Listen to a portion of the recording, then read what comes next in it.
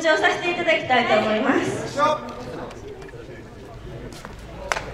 4月1日に大阪京橋のベロニカさんで私たち KK11 もライブに出演させていただきます、そして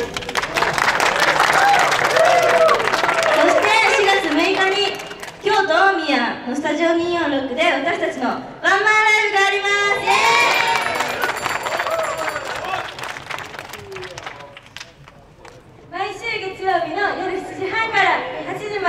30分間 FM ギークというインターネットラジオの方で